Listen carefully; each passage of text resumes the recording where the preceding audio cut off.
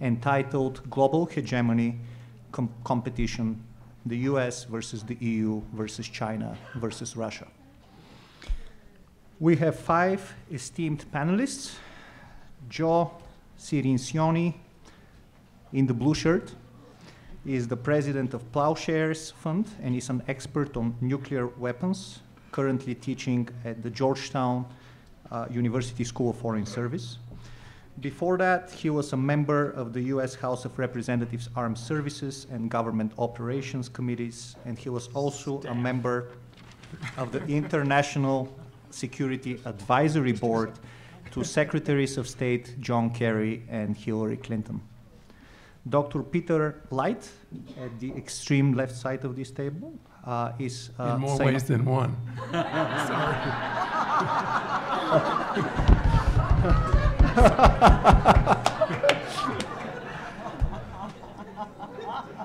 is a sinologist with an exceptional sense of humor and, and an extensive background in international banking and teaching. He is a board member of the Council of International Educational Exchange, the One Sky Foundation, and Prudential Financial. He earned his doctorate in Asian Studies, in East Asian Studies, excuse me, from Princeton. Maggie Salem in hot pink is the executive director of the Qatar Foundation International, an organization that promotes the study of the Arab language and culture in the Americas, Europe, and the Middle East. Salem has done substantial work with democracy and good governance promotion in North Africa and the Middle East and served as a special assistant to Secretaries of State, to Secretary of State Maddie Albright and US Ambassador to Israel Martin Indyk. Her academic training is in Arab studies, political science, and psychology. Next to me in white, we have Mor- Morgan Keay, the CEO of Motive International, an expert on conflict mitigation and enhancing sustainability and stability. She has held positions at the State and Defense Departments as well as USAID. Her academic training is in international policy, environmental biology, and religious studies. And last but not least, we have Ambassador Ross Wilson, uh, who served as the US ambassador to Azerbaijan and then Turkey, and in addition to also having had embassy assignments in Moscow and Melbourne. He also served as a deputy executive secretary for State Department Secretaries James Baker, Lawrence Eagleburger, and Christopher Warren. Currently, Ambassador Wilson is a distinguished senior fellow at the Atlantic Council and a visiting lecturer in international affairs at George Washington University. We are all absolutely delighted and honored to have you here as guests. We will start in the order in which I introduced you, with Joe going first, and each of you will take about five minutes for your initial remarks on the topic of the day. We'll then have a small discussion addressing each other's points. Let's start here, kind of arrange to start here and go that way. I promise these guys they could go. That sounds good. We will actually start in order of, in order with, uh, uh, st- starting, starting on my left uh, with uh, Morgan Keay going first.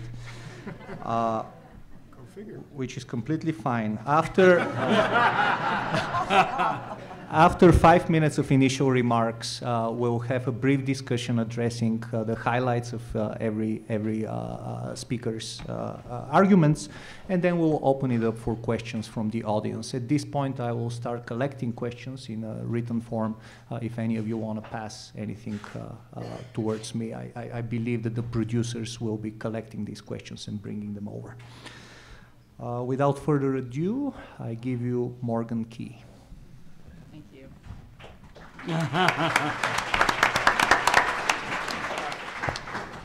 saying to Ambassador Wilson, I think I'm the straw man or straw woman, as it were, so everyone can discredit all of my comments if I go first. Um, so um, I'm, I don't know why, something about the air in Boulder just makes me feel a little bit controversial sometimes. So um, I'm, I'm um, so my alma mater, good to be back. Um, I, I, feel like my, my life has taken a far cry from, uh, from Boulder when I was not at all thinking about the hegemony of uh, you know, global superpowers and, and sort of the, the, the, new world order, as it were, when I was studying biology and religious studies here.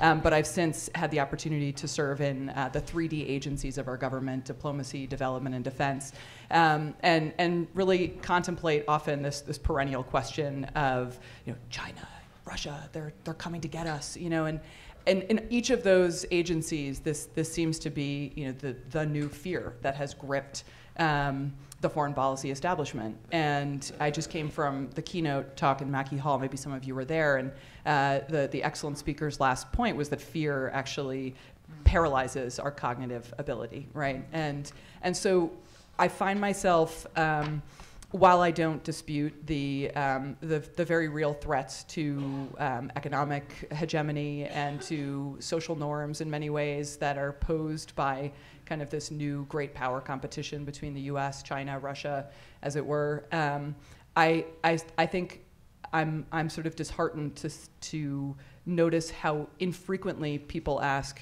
so what?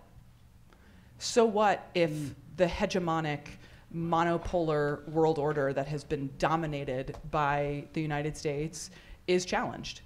I, I frankly find um, a, a, friend of mine who's a fluent uh, Mandarin speaker, uh, he, he loves to point out that the, the, the Mandarin character for, correct me if I'm wrong, we have a sinologist at the table, for crisis is the character for danger plus opportunity. So, you know, while this crisis of you know, the U.S. grip on hegemonic control, am I right? Okay. Move on. Move on. All right. Okay. That's straw woman. Straw woman. Um, it's a good, it's a good story. He, well, he is a, he is a native Mandarin speaker, so I'm going to have to go back to him on, on this. But um, you know, so I, while I, while in the eyes of many people, if if you're on um, sort of Team USA, uh, the the threat of other superpowers does feel like a crisis. Um, I I really do believe that this this time, this moment that we live in, when when our hegemony is is being uh, challenged, is an opportunity, and and particularly it's an opportunity to reflect on uh, some of the systems that we have gripped to so dearly. Um, you know, a, a, certain flavor of capitalism, a certain flavor of consumerism, a flavor of democracy that um, are imperfect in many ways, and what I find sort of refreshing just about this topic, and I really eagerly anticipate um, the comments of the panel and questions from the audience, is what can we learn about our own norms and values when we're confronted with norms and values that are just radically different? And I think that um, what I what I find reassuring about the fact that there are true um, counterpoints to our own hegemony is is that it it just points out the fact that our way of doing things is not the inevitable that there are fundamentally way, different ways to approach problems, to approach the organization of, of human institutions. Um, and I think that the human society is better off when they reflect on different, different options and don't take one pathway as, as an inevitable. That said, um, I will absolutely say that as, as still part of you know, the, the foreign policy community uh, and a former diplomat, um, and, and one now who works uh, very closely with the US military on trying to uh, prevent or deter uh, conflicts, particularly with superpowers. Um, that these are very real threats, um, and uh, and unfortunately, our our ability to sort of understand the nature of these threats is still so vastly limited.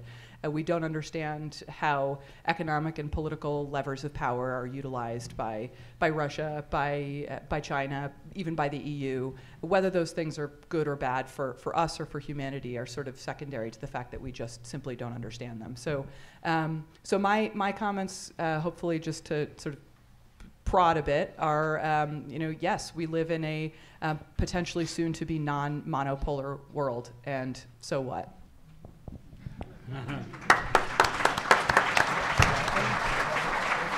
Thank you for these remarks. Uh, next will be Ambassador uh, Wilson. Great, thank you. Uh, Good afternoon. It's a great uh, pleasure to be back at CWA. This is uh, my second time here. We had such a terrific uh, time in, in 2018. We were delighted, my wife and I were just delighted to have the opportunity to come back here and be part of this very interesting conversation that's quite different from other international affairs conferences where you have a lot of talking heads kind of saying the same things about the same narrow range of subjects. There's a huge diversity here, and my hats go off to the, uh, to the organizers for what they do. Um, in, uh, in thinking about this, uh, this topic, I, I, I did one thing uh, at the outset. I Googled global hegemony competition to see what would come up exactly. Um, one of the leading pieces you find that, that I came across America Losing Global Influence, Atlantic Monthly in uh, August 2018, or an item uh, published by The Hill Is China's Hegemony a Foregone Conclusion? And, and sort of sc- scrolling down through a couple of pages of this, what I came away with was um, that, that the, the various things that popped up when you Google global, uh, global hegemony competition, it's, it's, um, it's actually not global. It's the United States declining relative to others, and it's, and it's this threat of China that Morgan referred to. Russia, mm, I went through like five or 10 pages, and it, never was there much in there about Russia being a threat of uh, posing a threat of global hegemony that would affect us or anybody else, and of course the E- European Union even much less. Um, the, uh, but if you take one of those words out, the hegemony word, global competition, this sort of picks up on what Morgan was talking about. We clearly live in a much more competitive world than, at least in retrospect, as we look back on the 1990s, uh, 2000s, a much more US dominated world than, than exists today. It is a much more competitive world.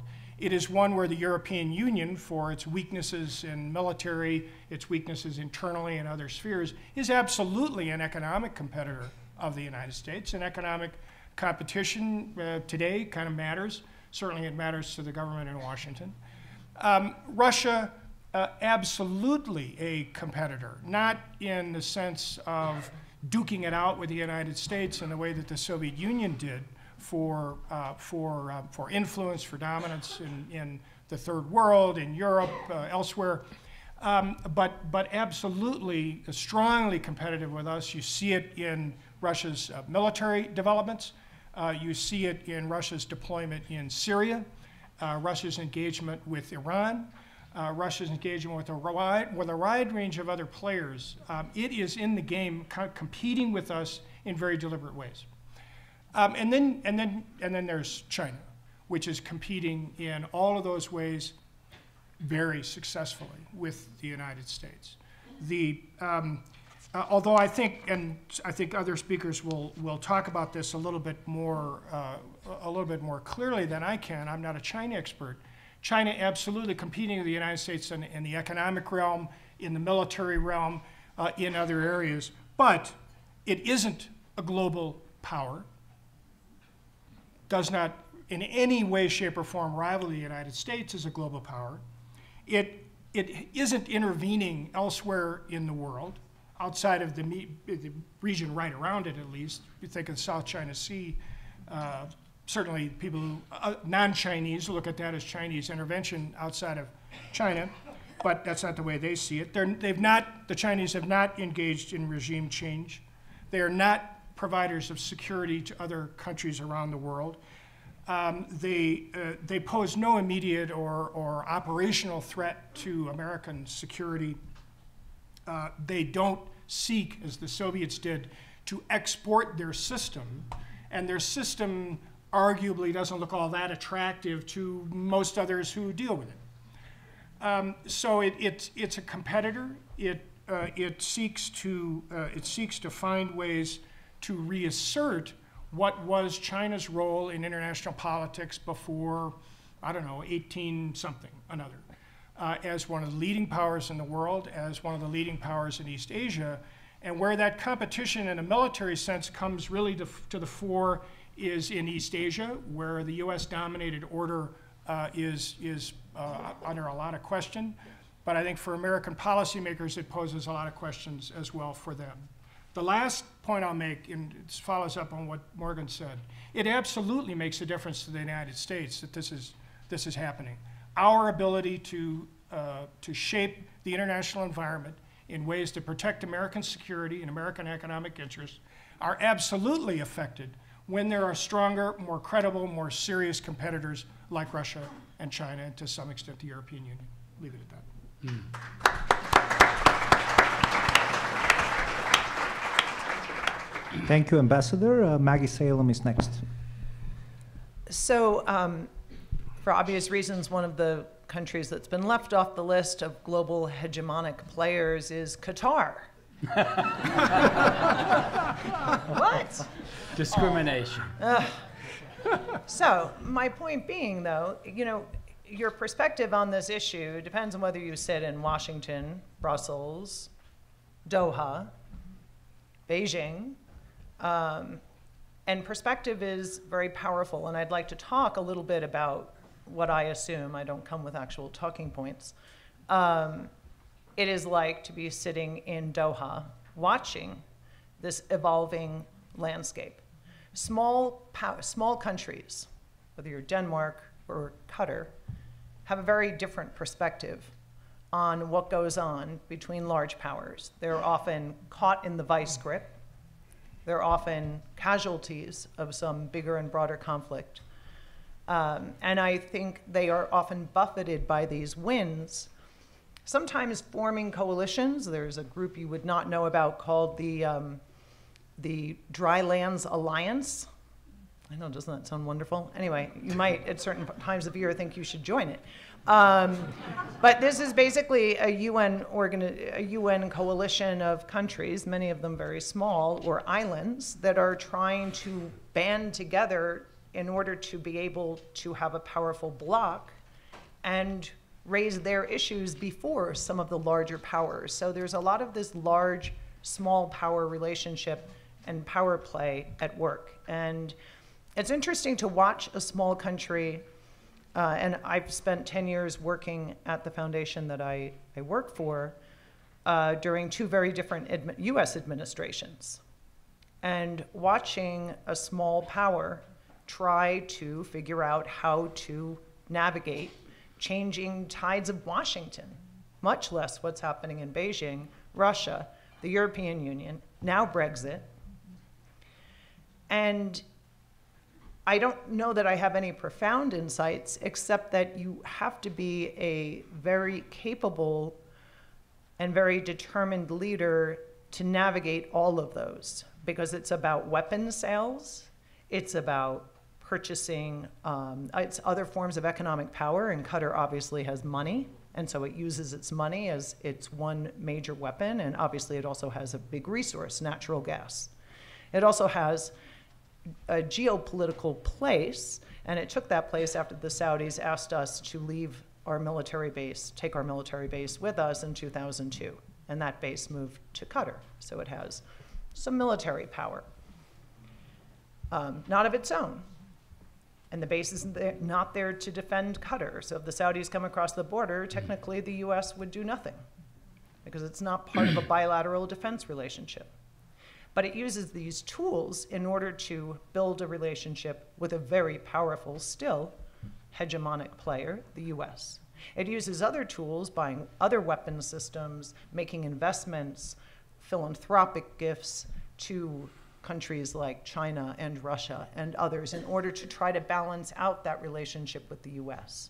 So it's really interesting to, you know, step aside for a moment from us, we're all Americans, or most of us are Americans, um, and look at it from a different perspective and from a very small place that's currently blockaded by its neighbors, a blockade that was supported in part by Washington at the beginning, and now not so much.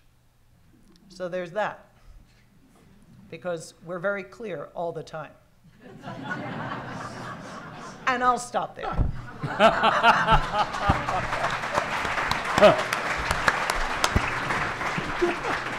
Thank you. Thank you very much. It's a pleasure to be back here. It's, I, I love coming to Boulder. I can't remember what conference this is for me. 13th, 14th. But I remember being in this room with Rachel Maddow uh, when, when- she was still doing her radio show, and, and having maybe some of you were here. And, and I love because I love coming here in part because it lets me uh, think about and then talk about these very, very big issues like global hegemony. The United States is the most powerful country the world has ever known. The Roman Empire was nothing compared to what we have. We, we dominate the world militarily, economically, diplomatically, politically, and culturally. Kids in rural Chinese villages dance to hip hop beats that come out of inner city America. You know, there's, there's, there's nobody like us. And, and for most of my life, that was a great thing. That was a great thing, in part because we were locked in a struggle for global hegemony with the Soviet Union and that military alliance, that political alliance, that diplomatic alliance that, that they had. And then suddenly it was over. It was gone. And I remember being on the House Armed Services Committee, and we were wrestling with this. What does this mean? The generals would come up to the House Armed Services Committee, and they always would start off with a threat assessment that would then justify the force structures and the weapons, and therefore the budgets they needed. And suddenly, there was a big question mark on what the threat assessment was. And it went on for years until I remember the Air Force coming up and had this, the charts they always bring in the, the threat assessment was the threat was uncertainty. and I thought, that is freaking brilliant. and now we don't have a threat-based defense budget. You know, we have a cap- what they call a capabilities-based. We build what we can, what we want, for the massive unknowns that, that are out there. And we now have a, a view that we should dominate the planet, that this is a good thing. And I'm telling you, uh, the U.S. global hegemony is unsustainable and unnecessary. And here's what I mean. Thank you. And here's what's unnecessary. First, you have to get over this. There's, a, there's one of my friends, Robert Kagan, who is a neoconservative and argued strenuously for the U.S. invasion of Iraq, and then justified it afterwards by talking about the need for a benign hegemony. That somebody has to rule the world. So it, it, let, let it be the United States. Who would you rather dominate the world? China? France? Yeah. Germany? You know, who would you? And, and we have a benign hegemony where we basically, and I think this is basically true, we advance our democratic uh, liberal values, we support international systems, we support a free market economy, etc. Until we started to screw it up. And now we are, we are screwing this up badly.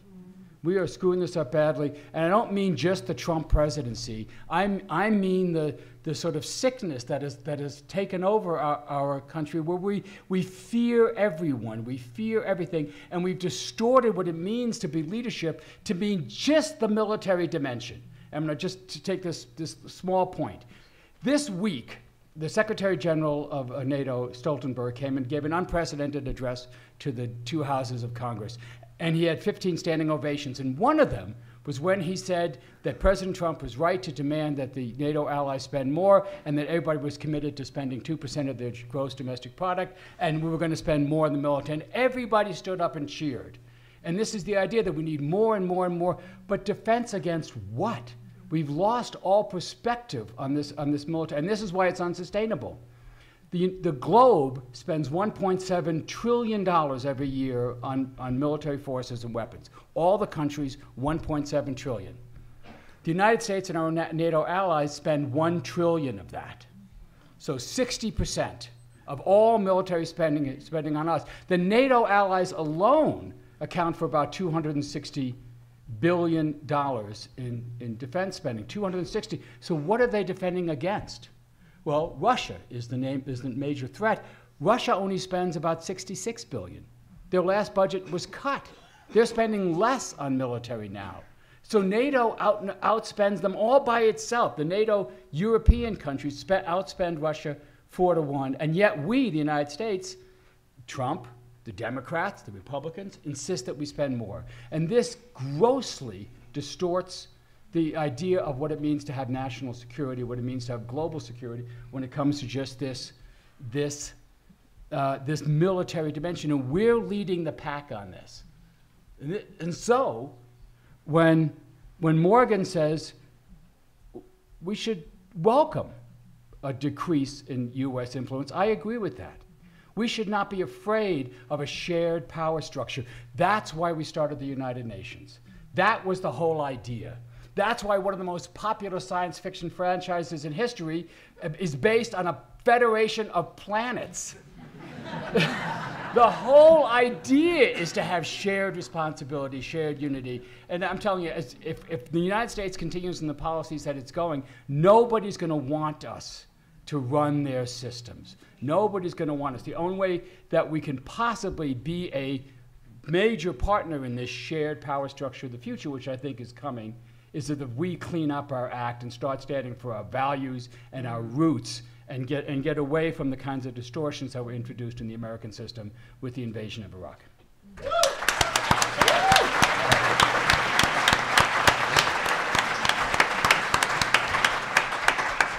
Th- thank you, Joe, for these spirited remarks. Uh, Peter is next. First of all, I am never complacent about being invited here.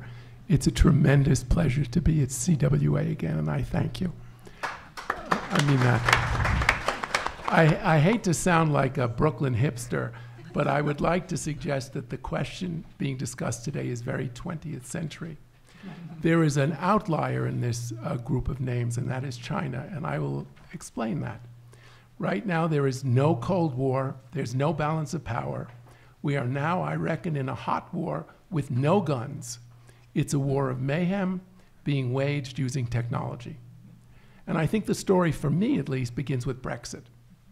Enter the weaponization of social media, orchestrated by bad actors who conflated delusions of an England that never existed and was a dog whistle to racism, greed, and ignorance.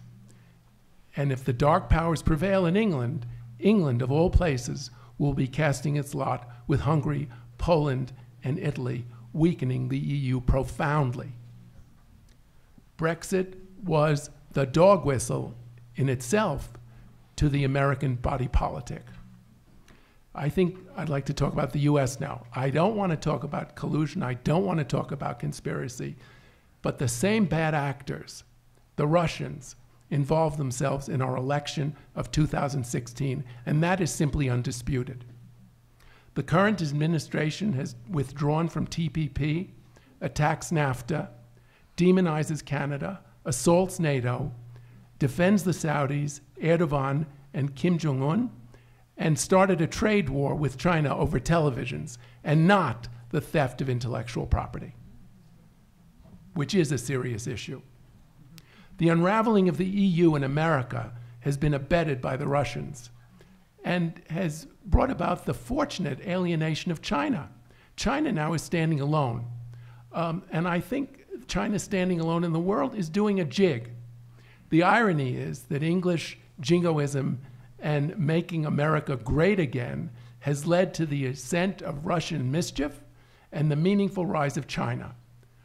Why wouldn't China uh, be making its way in the world if it's given to them and we're standing aside? China has strategy, which none of the other players have. I'd like to remind you of a very funny remark made by Zhou Enlai. Henry, Henry Kissinger asked him what he thought of the French Revolution, and he said it was too soon to tell.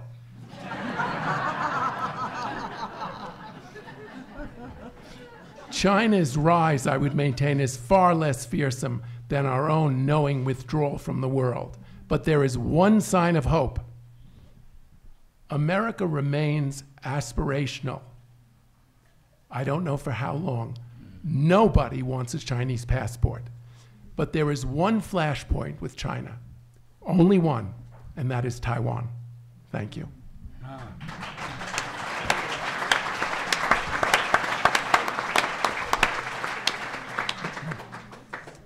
So uh, for the next stage of uh, this panel, uh, I will uh, let the panelists address each other uh, if they have any uh, remarks for each other. If, uh, if not, I will start off with a question and then we'll take the questions uh, from the audience, of which I have already taken some. I, Does anybody want I'd like to ask a question about um, the Arab speaking world. And it's, in the, holistically, if one can even see beyond its own rivalries and deep-seated um, um, whatever, um, are they are they sitting in the bleachers? Uh, Where are they? Uh, well, right now, one of them is trying to take over Libya.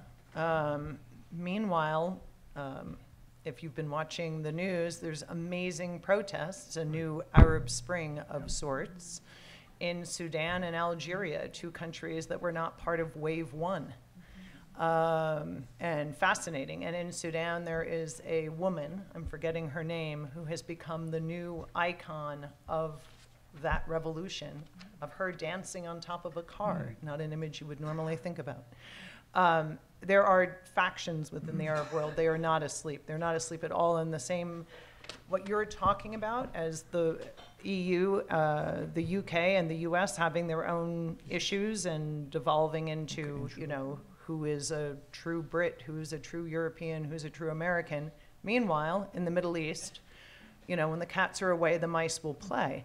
And there are alliances forming. You saw this at the beginning of this administration um, between actu- between countries that are not natural allies, like Saudi Arabia and the UAE.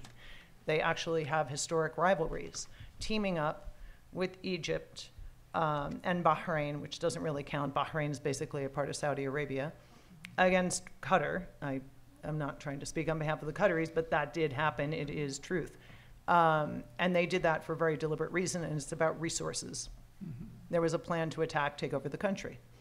Um, the Emiratis are right now supporting Haftar in his move on Tripoli, mm-hmm. which is going to kill thousands of Libyans. Mm-hmm. And it's a UN recognized government, and no one's stopping it. Mm-hmm. Um, so, in this world that we're moving into, and I think all of the panelists have outlined how different forces are at work and for different reasons and different interests, there are other parts of the world where no, people aren't sleeping and waiting to hear on the news how it all worked out. They're mm-hmm. actively mm-hmm. pursuing, because all countries do this, it's crazy, their own interests. Amazing. Was that helpful? I mean, and and the Saudis and the Israelis.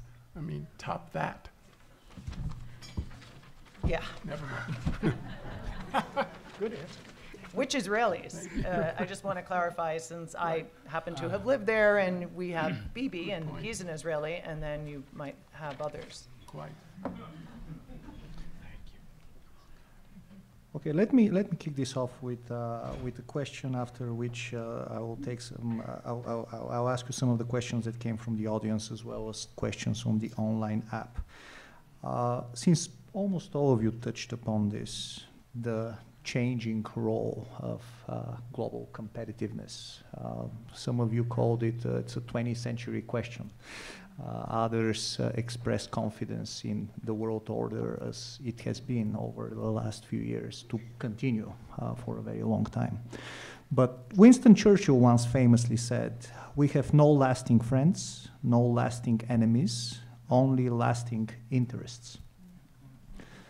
To what extent is this notion relevant to the United States today, as its close to a hundred year old alliance with Europe seems to come under more and more questions every day, and its pivot to Asia strategy necessitates a reevaluation of its relationship with both its current key challenger and regional superpower, China, and its old mortal enemy, but perhaps a possible useful counterweight to Chinese dominance in Asia, Russia. What alliance structure, if any, would be most appropriate for US interests in the 21st century? I would love to respond to that. Morgan.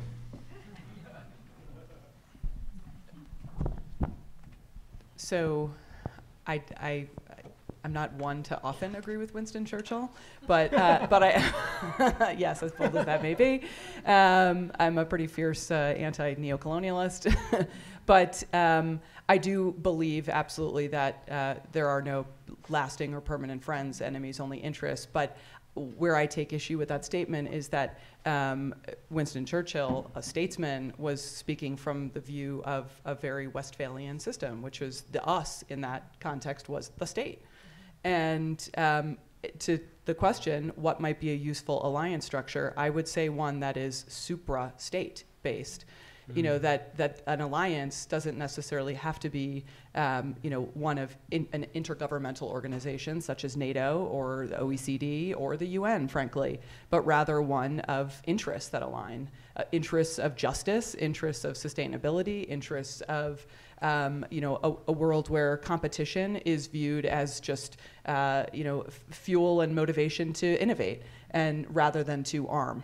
Um, so to me, I, I find it um, very 20th century that we still find ourselves trapped in Westphalian state-centric views of the world rather than, you know, it, recognizing the world that we already live in, which is composed of institutions that shape us more than, far more so than do our states that we are citizens of, right? We, we are part of economic systems as, as consumers as homeowners that where we have you know financial products that cross borders that know no borders we we buy products from you know we we exist with commodities in the material world in a very global way our products have value chains and supply chains that stretch across borders uh, we have friends, we have family members that probably live across borders. Um, we, you know, we communicate over devices and networks that are not state-based. So to me, the new alliance structure is one that is fundamentally uh, that that sort of confronts the reality that a state-based view of the world may not be the most useful anymore. Thank you, Morgan. Um, Maggie. Well, I was just going to um, applaud that thought because I think this is part of the identity politics and what is adding fuel to this is this idea that the structures that we know and understand or think we understand are actually not as relevant and the idea of cross-national everything is threatening. You know, your identity is based on you say what words do you say about yourself? How do you identify yourself? What do you use? Coloradan and American and these words don't have the resonance, they don't have the power they once had, or they cause confusion. And I think that if you start from understanding that, I would just say that, that that's a nice way of hooking into some of the other themes of the conference, which is looking at different political movements that are forming, um, including the alt right. Hmm. Ambassador? Um, I, will just add a couple of uh, a couple of thoughts. Um, what what has made America? There are a lot of things that have made America influential for the last 40 or 50 years, 60 years, 70 years. Uh, it's but but one of them has been the alliances that we've had, the relationships we've had. We countries have wanted to partner with us, and they still want to partner with us. Yeah. Um, and the more partners we have, the better, in in in general.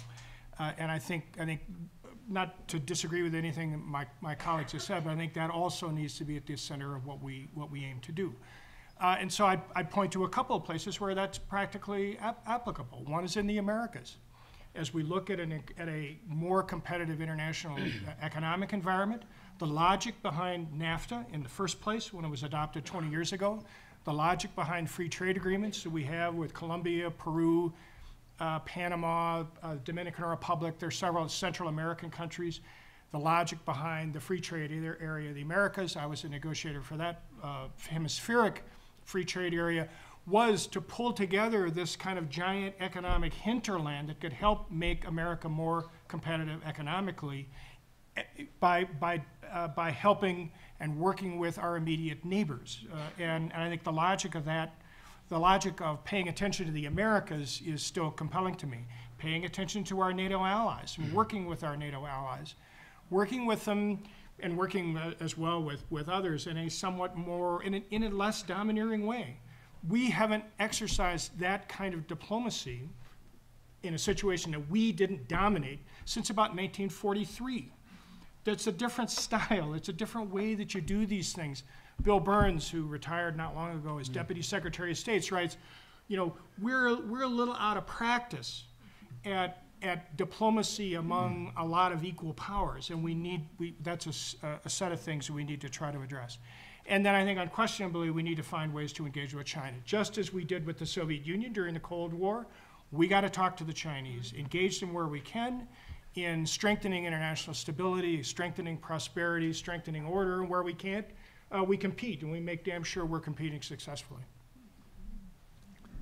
Thank you, Ambassador. I uh, have a student question uh, for all of you. Uh, the role of non-state actors and organizations has been a destabilizing force for superpowers. How does this role affect the balance of world power? Did you say non-state? Non-state actors, that's right. Why not start with state actors? State actor. I mean, I, I think the Russians are crawling all over us. That's a state. And just because um, they have a declining economy, uh, an, an upset population, um, going nowhere, um, that doesn't make them uh, less of a threat. And I, I, it, what really strikes me, sorry about the non-state comment, but I don't even know why Russia is being discussed here today because they, they, they stand for very little in terms of influence in the world. And they are punching above their weight at such a level that makes absolutely no sense. So now, now, sorry, never mind.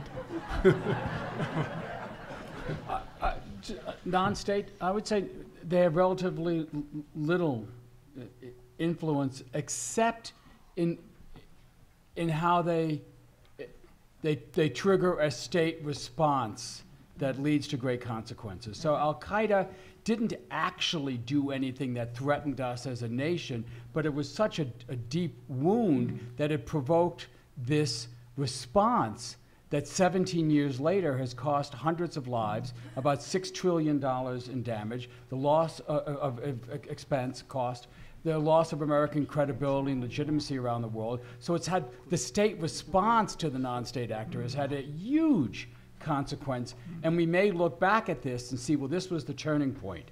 This was like Athens' ill conceived invasion of Sicily which led to the down, what led to the downfall of the Athenian hmm. Empire. This may be where the U.S. reached its overextension point, you know, and, and induced such such a, a cascade of of, di- of self-inflicted uh, of, of bad choices that that it it, it, it impacted the, the trajectory of, of U.S. dominance in the world. So, I mean, non-state actors include the Catholic Church, Facebook, the entire private sector, the, the academic world. So I, I think maybe the question was non-state armed groups, which you know we, we sort of defaulted to. But um, to me, non-state actors define the world that we live in again far more than do the states that we live in.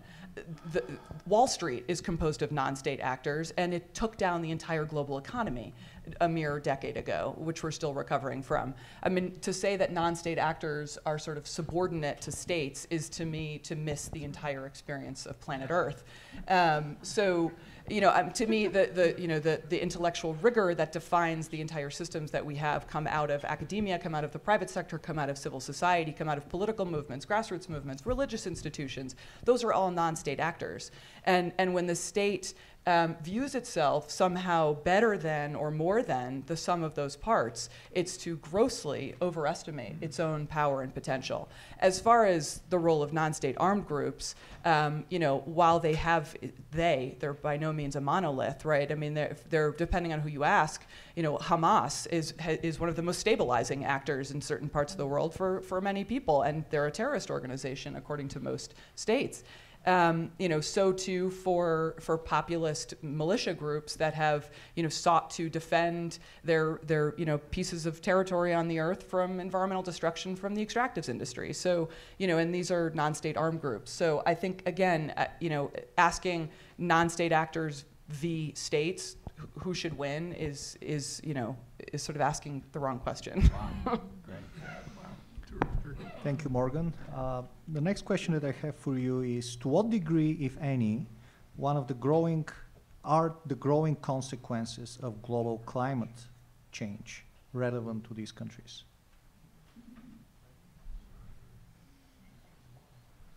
Science ain't wrong.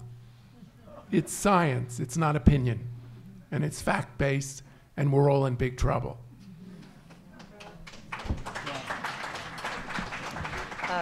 I would just add that for 20 years at least, um, one of the predictions for a great war in the Middle East was over water. Well, the people forget that the, the, the Syrian Yeah. rebellion began because of a 10-year drought in Syria, which is directly attributable to climate change, which is why you had a U.S. military leaders in Congress this week testifying that climate change was a national security threat. No matter what the, the president and his advisors were saying, they see it. They understand the migration issues, the, well, the threat to, to, to ports a- around the world, uh, the, the food uh, scarcity that this is going to be introduced. The, for people whose business is actually looking at the big picture, the big arc, they get this big time. It's the politicians who haven't been able to um, incorporate it into a sustainable strategy.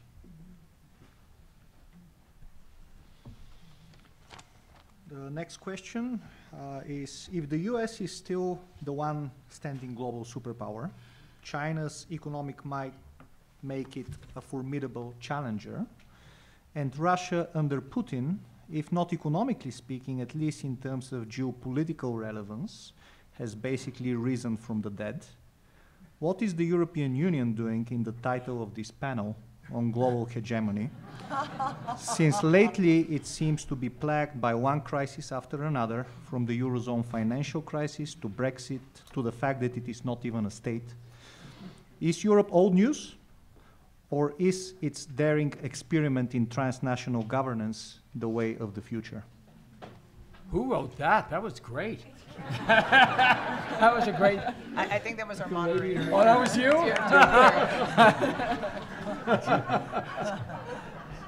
Well, let, let me just start, because it, goes back to the first question. When you start to look at what the alliance models are for the future, you know, we have to look at what's worked so far. I mean, you have two shining models out there. One is NATO, which is the most successful military alliance in history and has helped keep the peace in Europe, which is no small thing for the bloodiest continent in, in human history. And the other is the European Union, which I would argue is the most successful economic and political alliance in, in, in, in, human history.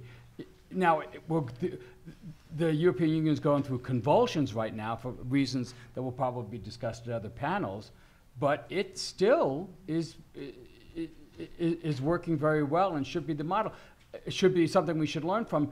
And if we don't uh, get to new, we don't, there's a, there's a intellectual crisis, I think, in U.S. foreign policy uh, intellectuals and, and discussions because we don't have a new model. Nobody's really substantially talking about this, but we better act soon because the Chinese are experimenting with new, experimenting with new models. I mean, I don't know what you call the, the One Belt, One Road plan, but that is way more than just an, an, an infrastructure plan. And they're building an, an alliance model around that, and we have nothing to answer that. We have no sort of global equivalent of what the Chinese are doing.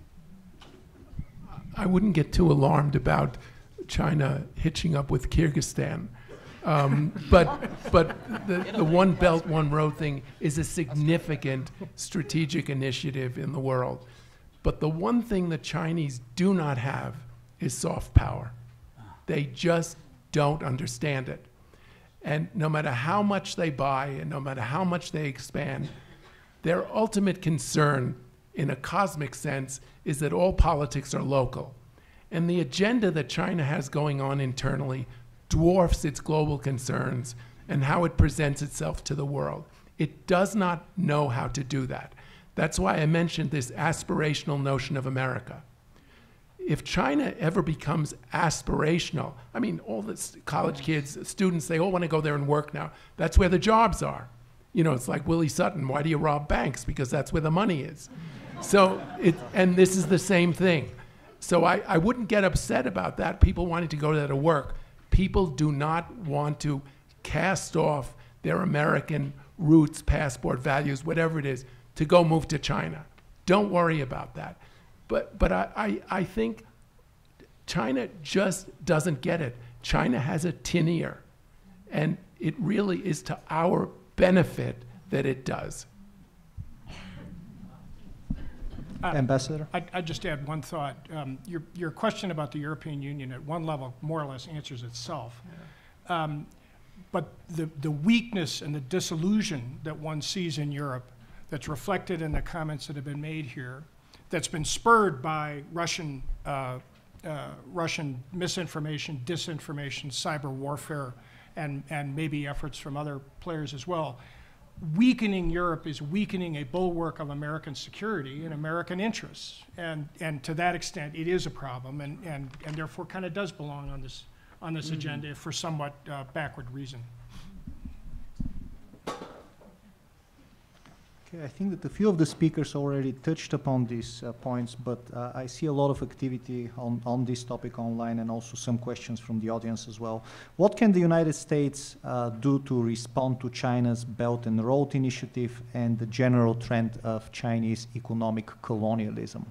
I think that people might be referring to the growing aid packages to Africa and also Well- the growing uh, positive sentiment, speaking of soft power as well, uh, towards the way of China I- I in just have some one of the developing world. One sentence, we should cut our military budget and increase our foreign aid budget.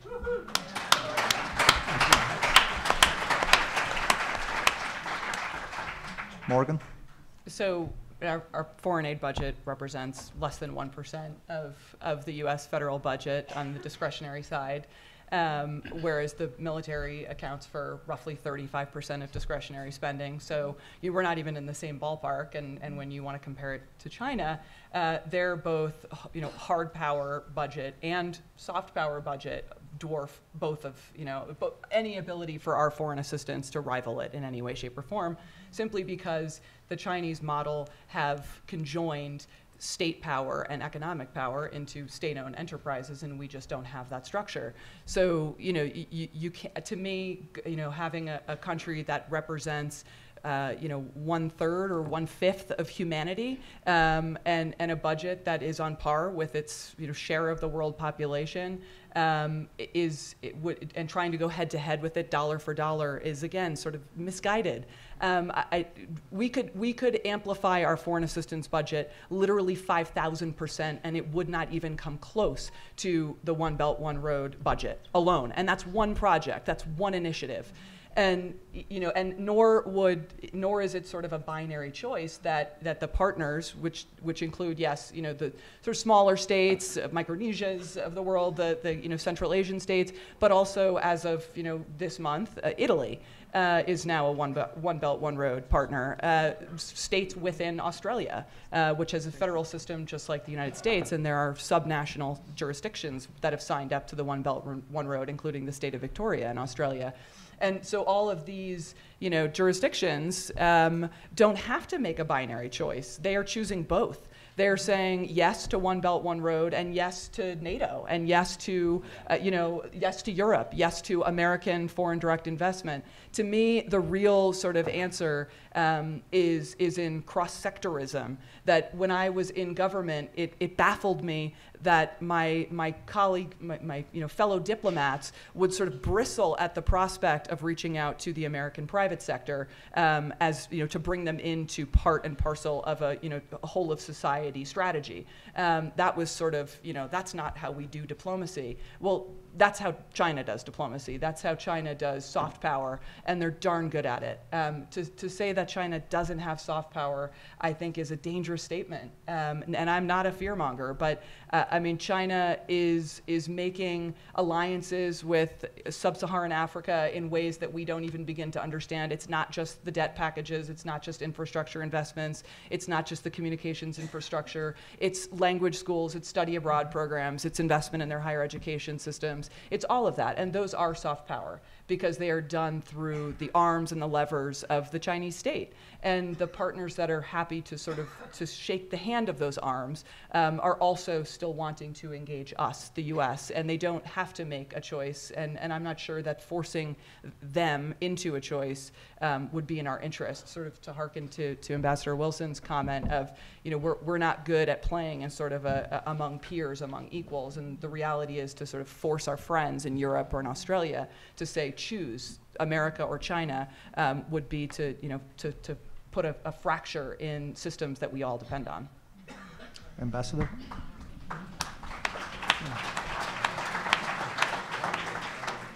Just to illustrate uh, with numbers the point that ma- uh, uh, my colleague has made about trying to compete with China on dollar terms. One response that the United States Congress came up with to the, essentially the Belt and Road and, and, and China's massive infrastructure spending around the world was to pass something called the Build Act that, that combines several different government agencies that you, most people have probably never heard of, uh, and increase their, their lending capacity from about $30 billion a year to $60 billion. 60 billion, that's a big number. What's Belt and Road? A trillion? 60 billion, it, you, you and can't. it's debt, not equity. And it's debt, not equity. Um, this is, uh, well, it was, it's, it, it was a positive step in a certain sense, but, but relatively small in comparison to the problem. Certainly, there's been enough reporting in the press to, to suggest to us that the uh, US government has been engaged over the last year or more uh, with European governments and with governments in the developing world to think twice about getting too far in bed with the Chinese uh, business community. Corrupt, predatory business practices, uh, debt, um, debt financed infrastructure projects that aren't sustainable, that cannot be repaid, that cannot generate enough additional earnings to pay for themselves, that then leave countries kind of at, at China's mercy, so to speak, or certainly uh, exposed to uh, exposed to Chinese pressure that they might not have intended. It's somewhat less than a you know than a than a call to arms, uh, but it's it is absolutely this. There's a set of things here you should be thinking about consciously, and you should be consciously making those decisions, especially when it comes to critical infrastructure, whether it's pipelines. Uh, technology, infrastructure, dams, roads, things that actually kind of matter for the future future of our country. I think basically that's the right approach. Um, getting our own house in order, as others have suggested, is also an important an important part of the picture. Okay. Uh, Can I just have one small footnote uh, to to Morgan's point? You, you, um, you got the percentage wrong. It's not thirty-five percent. Military spending is fifty-three percent. You Yeah. just flipped it. I was just sitting there doing the Yeah. math. The, the president's budget is uh, one trillion, one point four two six trillion. Military spending would be se- 564 billion. seven, uh, seven hundred and fifty is what he's asking for. So that's, I think so. they got 564 billion though, and all of foreign assistance got about 50. Yeah, oh, oh, that's last, right. So, so half of everything, the discretionary spending, though, so not mandatory. Right. Everything else, health and human services, infrastructure, NASA, education. The State Department, uh, USAID. Right, every, everything else is, is, we spend half of all the money we can, we, ha- we can, we're allocating uh, on the military. That is out of whack. That is unsustainable. That's, that's what, you want to worry about global hegemony. We cannot sustain a leadership role in the world with that kind of distorted budget.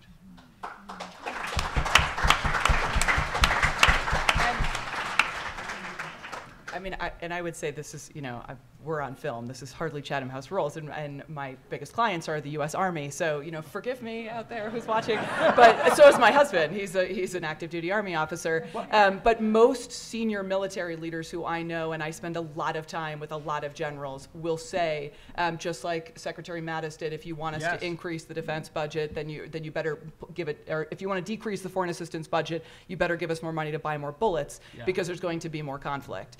Um, soft power is what prevents conflict, and military might is is a break glass, just you know, last resort in case of emergency. And it's not civilians saying that; it's military leaders saying that. It's military leaders that are saying. In all of the strategy formulation about great power competition, it's all of it is in the realm, to use military parlance, there's an acronym called DIME, which stands for uh, Diplomacy, Infrastructure, and Information, Military, and Economic. And they're saying this is not an M problem.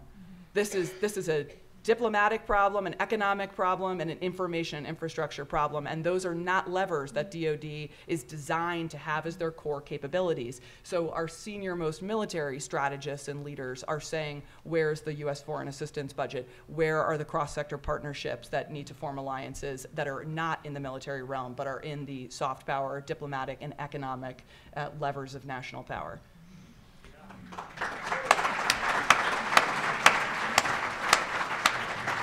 Uh, With eight minutes to go, we have time for just one more question. Uh, It is a question from, uh, from an exchange student from Egypt, and it is a very powerful and beautifully sincere question, in my opinion. Can all wars end completely at some point? Is there a time or a chance that every country will get what they want without millions of souls dying?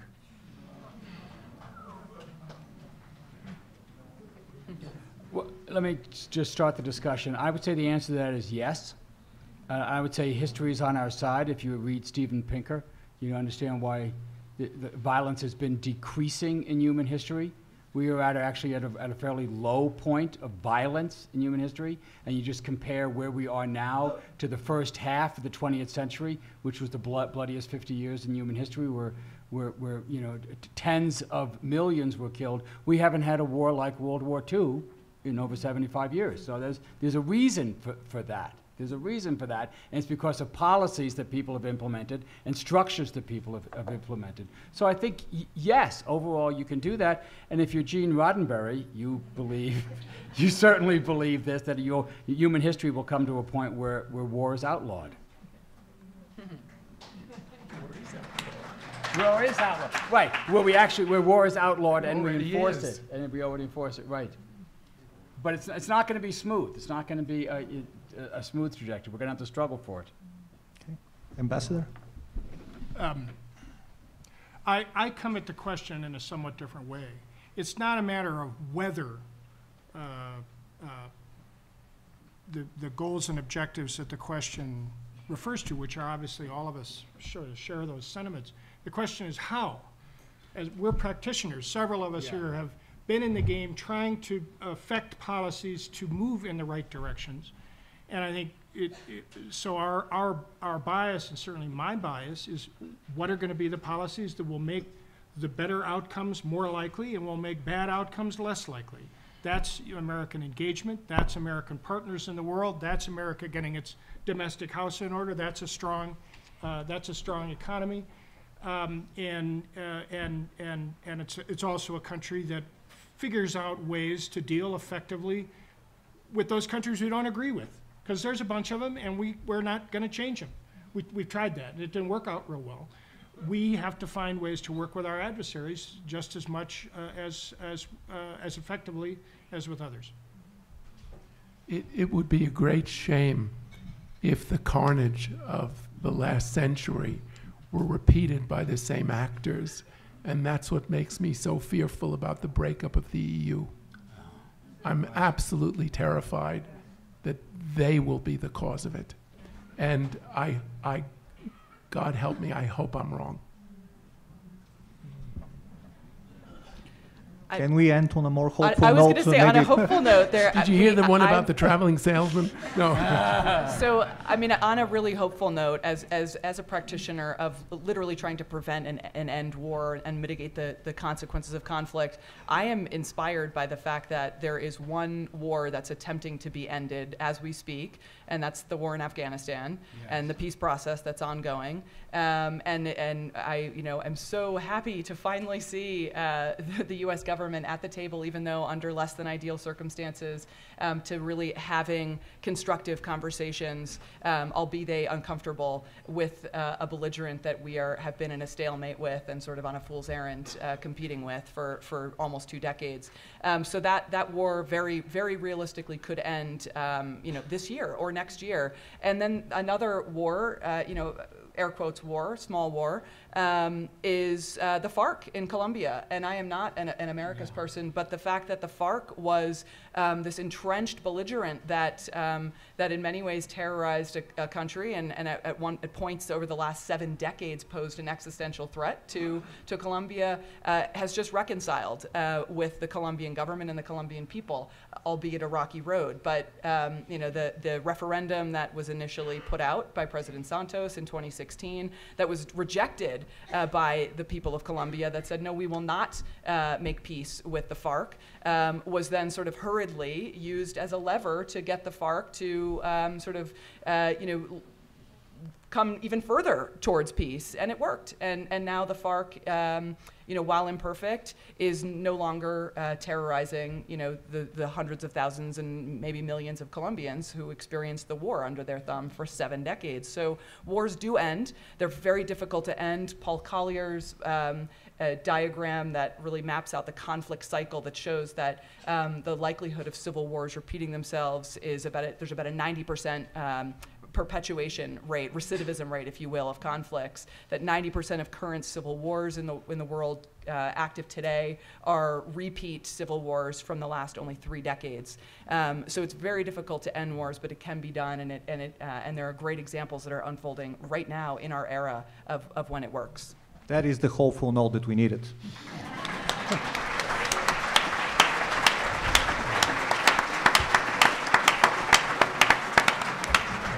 Thank you for the speakers and thank you for the audience. This has been a great panel. Great job moderating. Really? Yeah. Well done. I'll see you um, later. Yes.